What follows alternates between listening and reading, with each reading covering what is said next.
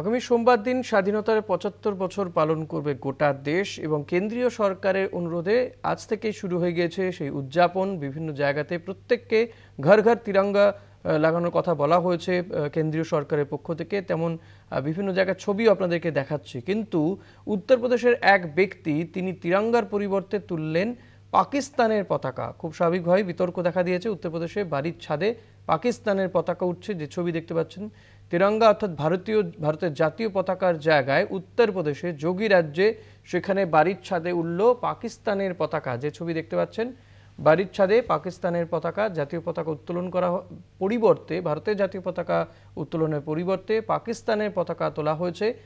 যোগী রাজ্যের এই ছবি পাক পতাকা লাগিয়ে বিতর্কের মুখে এক ব্যক্তি। উত্তরপ্রদেশে বাড়ির ছাদে ভারতের জাতীয় পতাকার পরিবর্তে পাকিস্তানের পতাকা তুলে বিতর্কে এক ব্যক্তি।